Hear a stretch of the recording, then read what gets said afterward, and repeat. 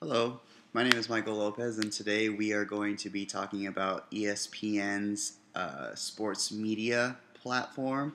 And what we're going to talk about is how the network itself generates revenue and the many things that it that it has to offer has, that is bringing in its revenue.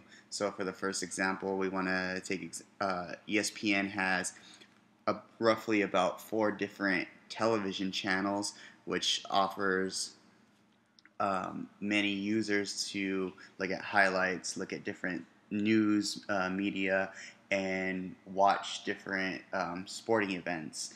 Uh, obviously, they're getting they're paying the cable network. We're paying cable network, which is going through a percentage to them.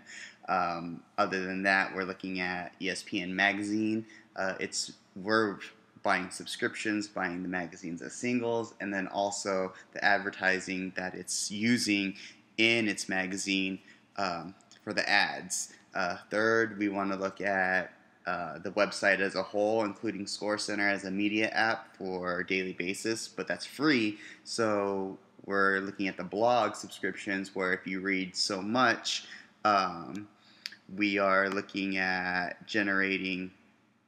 Um, a subscription, monthly subscription to read more about about blog, uh, you know, whatever the the journalists are writing about. Um, so roughly, ESPN is bringing is everywhere. You know, in advertising, bringing at least more than two billion a year in advertising revenue.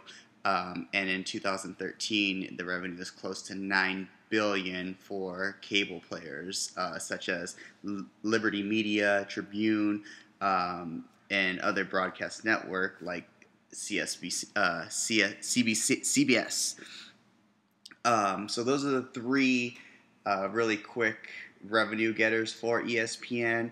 Um, that's that's the main things that they're looking that we're looking at. Um, you know, they have something going with the football uh, baseball and basketball, and then also we want to look at where it, where it's going as far as PlayStation 4, the Xbox 360. We can all get on ESPN through that as well. So it's definitely a big uh, a big revenue getter right there. Uh, thank you so much, and thank you for listening.